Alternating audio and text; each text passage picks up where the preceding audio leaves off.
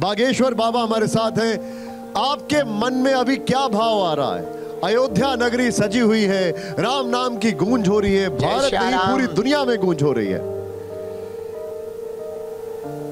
जय सिया राम। जय श्याराम जय बागेश्वर धाम की श्री शिवाय नमस्तुभ्यम। भगवान बागेश्वर बालाजी की और कोवेश्वर महादेव की कृपा से आज हम श्री धाम अयोध्या में हैं। सभी संत विराजमान हैं हमारे साथ में शिव भक्ति की परंपरा को पूरे भारत में प्रवाहित करने वाले परम पूज्य पंडित श्री प्रदीप मिश्रा जी भी हैं, पूज्य मुनि श्री महाराज जी भी हैं, और जहाँ विराजमान जगत गुरु परम पूज्य अनंत श्री भूषण राघवाचार्य जी महाराज। सब संत और वर्तमान में बैठकर हम लोग यही चर्चा कर रहे थे जो आपने प्रश्न किया, भूतो न भविष्यति।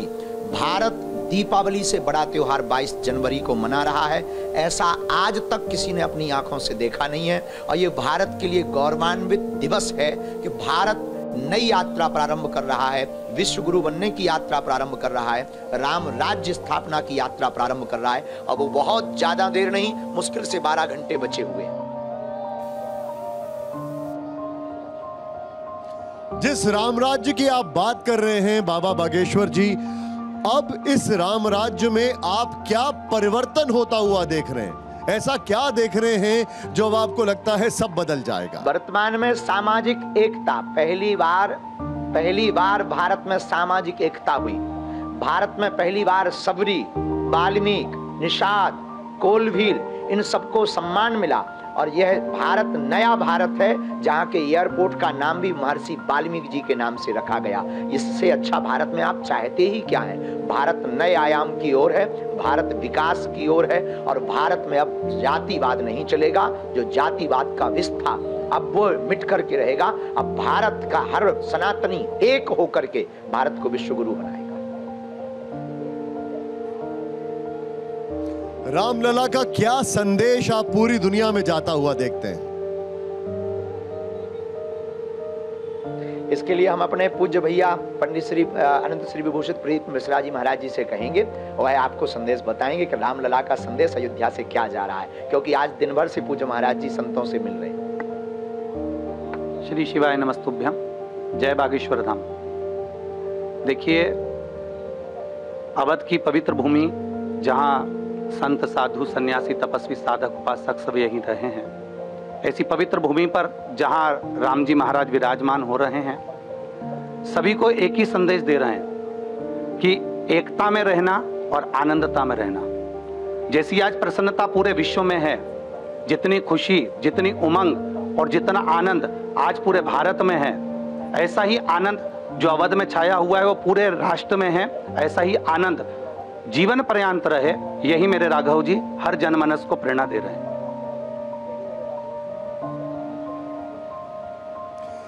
इस वक्त मैं आपके पास एक सवाल और लेकर आ रहा हूँ, लेकिन मेरे पास एक बहुत बड़ी खबर आ रही है, और अब थोड़े बदले बदले से उनका, उनके बयान दिखाई देते हैं। शंकराचार्य स्वामी अभिमुक्त अभिमुक्तेश्वर अनंत सरस्वती ने क्या कहा है? इस वक्त की एक बड़ी खबर अपने दर्शकों को बता दें। मोदी के पीएम बनने से हिंदुओं का स्वाभिमान जागा है। ये छोटी बात नहीं है। अभी मुक्तेश्वर आनंद सरस्वती ने कहा, हम मोदी विरोधी नहीं है, मोदी प्रशंसक है। ये उन्होंने कहा। मोदी पहले पीएम हैं जो हिंदुओं के लिए दृढ़ता से खड़े हैं।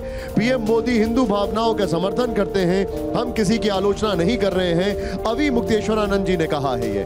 मैं मैं अब सीधे चलूँगा बाबा बागेश्वर जी के पास। जो अवरोध थे, वो रामलला ने मिटा दिए। क्या कहेंगे आप?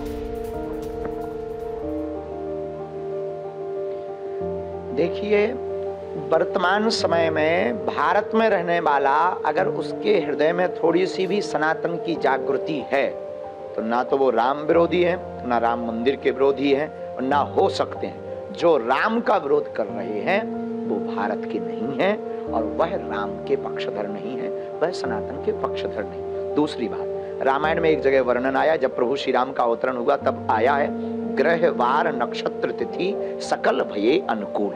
जब प्रभु श्री राम जी प्रकट भय तो सब कुछ अनुकूल हो गया था। तो आपने अभी जो आ, ब्रेकिंग न्यूज़ दी है निश्चित रूप से कल प्रभु श्री राम प्रकट हो रहे हैं तो सब अनुकूल ही अनुकूल होना है और उसमें कोई संदेह नहीं।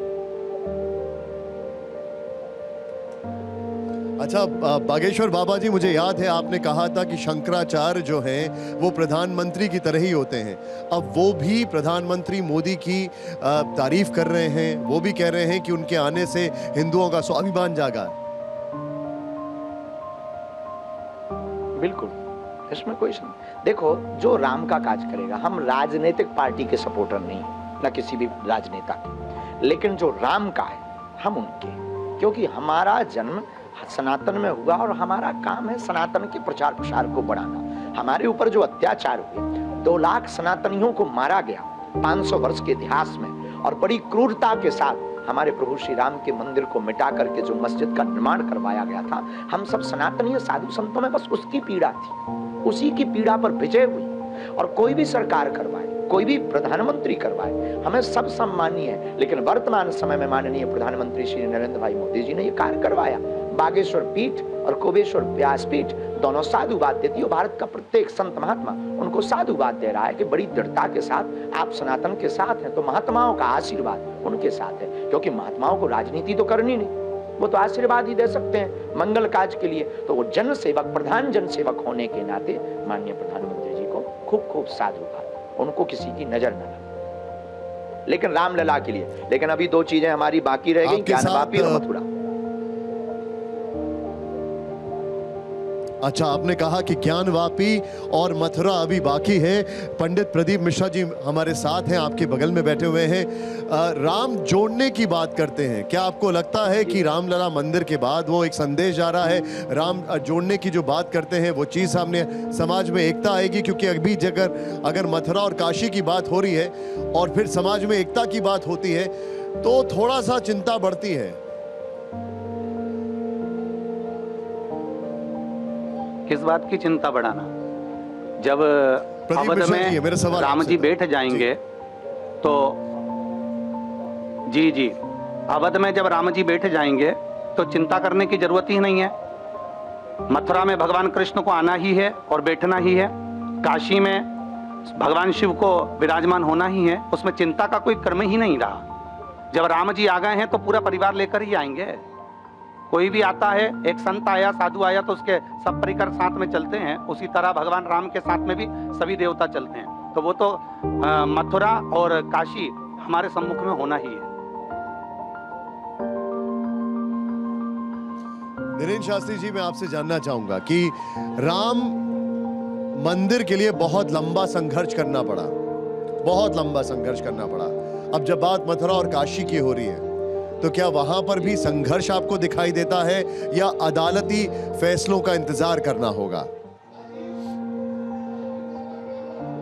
देखो, भारत संविधान से चला। हमारे पूर्वजों ने संविधान स्वीकार किया है उसका आदर रहेगा और कोर्ट जो भी निर्णय देगा, जैसे राम जी का निर्णय पक्ष में हुआ, वैसे ही ज्ञानवापी का होना है और कृष्ण जन्मभूमि का होना है तो जैसा महोत्सव राम मंदिर का मना रहा भारत आने वाले समय में वैसे ही भगवान महादेव के जब महान, जब ज्ञान ज्ञानवापी में भगवान शंकर जी विराजमान होंगे, वहाँ महोत्सव मनाएँगे और कृष्ण जन्मभूमि में, कृष्ण कन्हैया लाल के महोत्सव को मनाएँगे।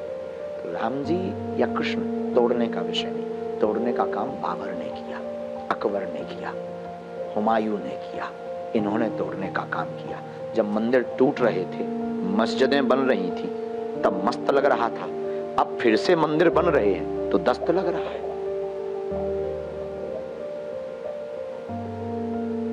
मैं आपसे एक चीज़ पूछूँगा यहाँ पर। अगर अलग अलग नेताओं की बात की जाए तो राहुल जी शिव जी की पूजा में लीन होंगे ममता बनर्जी कालीघाट मंदिर में होंगी, अरविंद केजरीवाल सुंदरकांड का पाठ कर रहे होंगे। सनातन के लिए ये तो फिर बड़ी अच्छी बात हो गई। बिल्कुल बेझिझक। राम सबके हैं। सनातन सबका है। सनातन का मतलब किसी मज़हब का विरोधी नहीं। सनातन का मतलब विश्व की आचार्य संगता। सनातन का मतलब आदि, जो प्रारंभ में था। सनातन का मतलब विश्व में शांति। एक केवल सनातन ऐसा है, जिस सनातन धर्म में मंदिरों की पूजा के बाद उद्घोष किया जय घोष किया जाता है। विश्व में शांति हो। विश्व का मंगल हो। विश्व का कल्याण हो। धर्म की जय हो। अधर्म का नाश हो। केवल दुनिया में एक धर्म है सनातन, और केवल यही धर्म है, बाकी सब मज़हब हैं, और दूसरे मजहबों में तो अपने लोगों को केवल मानव माना जाता, बाकी सबको कायर माना जाता, काफिर माना जाता है। इसलिए सनातन ही सर्वोपरि और सर्वोत्तम उपाय। आज हम अयोध्या में बैठ करके इन संतों के सन्मुख और कुबेश्वर महादेव वाले प्रमुख आचार्य पूज्य पंडित श्री मिश्रा जी के बगल में बैठकर हम ये बिल्कुल घोषणा के साथ कह सकते कि विश्व में अगर युद्धों से विश्व को बचना हो तो सनातन को स्वीकार करना पड़ेगा। क्योंकि विश्व में शांति का सूत्र केवल सनातन दे सकता है। क्या आपको ऐसा लगता है कि 2024 का जो चुनाव आने वाला है उसमें सनातन धर्म की जय हो यही एक मुद्दा होने वाला है? बेझिझक। अब देखो चुनाव एक अलग विषय है धर्म अलग विषय धर्म से राजनीति चलती है राजनीति से धर्म नहीं चलता है। राम जी से राजनीति चल सकती पर राजनीति से राम जी नहीं चल सकते। और भारत के जागरूक लोग हैं, वोट अपने हिसाब से डालेंगे। हम किसी को, हम अगर हम कह भी दें कि आप इनको वोट दो तो सबको मानना नहीं है। हम विरोध भी करें, तब भी सबको मानना नहीं इसलिए सर्वोत्तम हमारा जो मार्ग है, वो है सिर्फ़ अध्यात्म। हम उस पर बोलेंगे, राजनेता अपने हिसाब से बोलेंगे, उनके लिए अभी समय है। 2024 के चुनाव में वो अपने अपने प्रोपोगंडा अपनाएँगे अपनी अपनी भाषणबाजी करेंगे, वो उनका उद्देश्य लेकिन बाबा बागेश्वर क्या कहेंगे अब जब राम मंदिर का जो मुद्दा है, राम मंदिर बन चुका है, मथुरा और काशी का मुद्दा अदालत में है, अब क्या आपके लिए महत्ता रखता है? हिंदू राष्ट्र या पीओ के? सनातन के लिए क्या है अब आगे? हमारे लिए महत्वपूर्ण है राम राज्य। हमारे लिए महत्वपूर्ण है पाक अधिकृत कश्मीर, भारत में विलय होना। हमारे लिए महत्वपूर्ण है ज्ञान व्यापी का फैसला शीघ्र आना हमारे लिए महत्वपूर्ण है कृष्ण जन्मभूमि का फैसला पक्ष में शीघ्र आना हमारे लिए महत्वपूर्ण है भारत में जाति गणना नहीं, अपितु गरीबों की गणना की जावे। हमारे लिए महत्वपूर्ण है, इस भारत में बिछड़े, पिछड़े लोग कितने हैं, वो किसी भी बिरादरी के हों, उनको सम्मान प्राप्त हो हमारे लिए मान्य है, हमारे लिए सर्वोपरि है कि जिन महिलाओं के साथ बर्बरता के साथ अत्याचार हो रहा, उनको न्याय प्राप्त हो हमारे लिए महत्वपूर्ण है, जो बिछड़े, पिछड़े इलाके हैं, जहाँ आदिवासी क्षेत्र हैं, उनके साथ किसी भी प्रकार की दबंगई और क्रूरता ना हो हमारे लिए सब मानवीय कार्य महत्वपूर्ण है। इसलिए राम राज्य का मतलब ही यही है। हम इसी के लिए जी रहे मैं पंडित प्रदीप मिश्रा जी से सवाल ज़रूर पूछना चाहूँगा। जब प्रभु श्री राम अयोध्या लौटे थे तो भगवान शिव, पार्वती, ब्रह्मा जी सब उनको देख रहे थे। कल क्या होगा?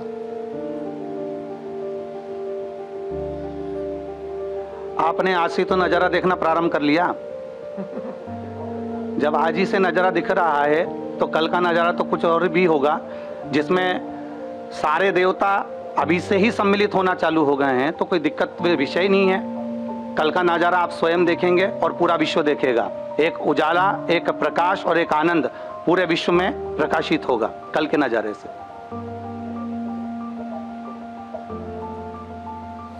मेरा सवाल बागेश्वर बाबा से मेरा सवाल बागेश्वर बाबा से ये है जो हम परिवर्तन अयोध्या में देख रहे हैं उस परिवर्तन से क्या पूरे देश में भी एक परिवर्तन आता हुआ दिखाई देगा? और ये आध्यात्म के लिहाज से है डेवलपमेंट के लिहाज से है प्रोग्रेस के लिहाज से है या हिंदू या सनातन धर्म के लिहाज से? है कल के परिवर्तन को केवल अयोध्या में नहीं, पूरे भारत के साथ साथ पूरे विश्व में देखा जाएगा। राम मंदिर के निर्माण से केवल हिंदुओं का भला नहीं, राम मंदिर में प्रभु श्री राम के विराजमान से समूचे भारतवासियों को गौरव प्राप्त होगा। डेवलपमेंट के हिसाब से जैसे अयोध्या चमक दमक गई, अब भारत भी चमकेगा, धमकेगा। और भारत में नए रास्ते निश्चित रूप से खुलेंगे। विदेशी पर्यटक जब भारत में दर्शन करने आएँगे राम मंदिर के भव्य और दिव्यता के तो आर्थिक उन्नति भी होगी यहाँ पर ऑटो चलाने वालों को भी लाभ होगा, बस चलाने वालों को भी लाभ होगा, सरकार की चलने वाली रेल यात्रा की टिकटों से सरकार को भी लाभ होगा और साथ ही साथ अयोध्या के डेवलपमेंट से उत्तर प्रदेश का विकास होगा। उत्तर प्रदेश के लोगों के विकास होने से समूचे भारत का विकास होना की रास्ता खुल जाएगी, और यह डेवलपमेंट के हिसाब से आर्थिक, लौकिक सामाजिक, आध्यात्मिक, सभी प्रकार से कल का दिन भारत के लिए महत्वपूर्ण है। केवल हिंदुओं के लिए नहीं, सभी भारत में रहने वाले, चाहे जो भी हो, किसी भी मज़हब के अनुयायी हो, उनके भगवान कोई और हो सकते हैं। पर सब सनातन की वृक्ष के छाया तले जीने वाले जितने भी लोग हैं, भारत में रहने वाले लोग हैं, सबको लाभ मिलना है, इसमें कोई संदेह नहीं। भारत नई दिशा की ओर है, भारत नए आयाम की ओर है भारत नया सोच रहा, वर्तमान में भारत में एकता हो गई है। एकता होने का मतलब सात पाँच की लाठी एक जनों का बोझ। हमारे बुंदेलखंड की कहावत है कि जब सब एक हो जाते हैं तो फिर नए उपाय होते हैं, नई व्यवस्थाएँ होती हैं और नया परिवर्तन होता है।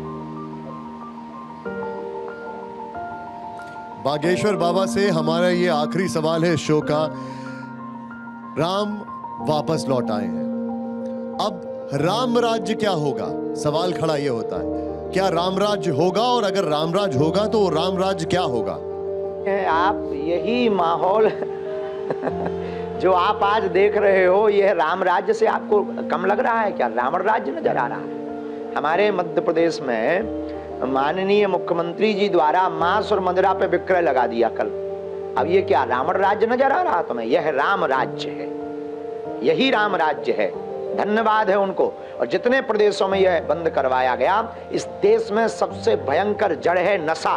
नशा पर ना कोई बात करता है ना कोई चर्चा करना चाहता। लेकिन हमारे मध्य प्रदेश में वर्तमान समय में श्री मोहन यादव ने आ, कल के दिन मांस मदिरा पर विक्रय पर रोक लगाई है बिल्कुल ताबड़तोड़ तरीके से।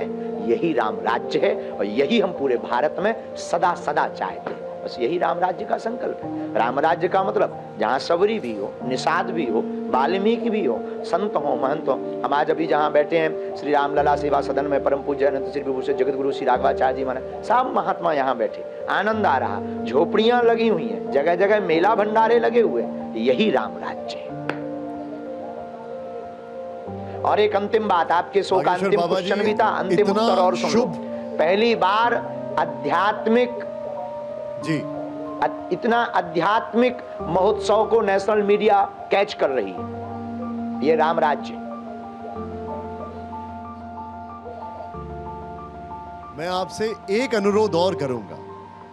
और ये अनुरोध यहाँ पर तमाम लोग जो मेरे साथ मौजूद हैं वो सब मुझसे बोल रहे हैं। वो मेरा अनुरोध आपसे ये है कि जाने से पहले क्या आप कुछ गुनगुना सकते हैं हमारे दर्शकों के लिए? इतना शुभ मुहूर्त है इतना शुभ दिन है।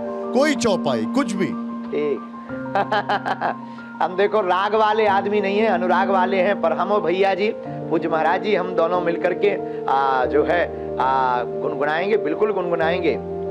अरे आ, हमको तो एक ही भाव महाराज जी के साथ में याद आ रहा है जो यहाँ पर गा करके आ, हम सबको कहना भी चाहिए।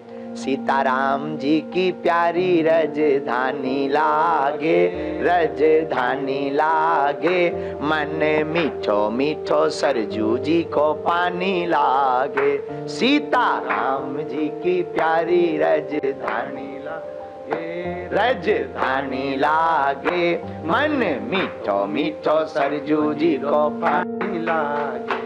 ओ धन कौशल्या, धन के कई, धन सुमित्रा माता, धन भूप दशरथ के आँगन खेल चारों भ्राता। राम रस से रसीली रज, धानी लागे, रज, धानी लागे।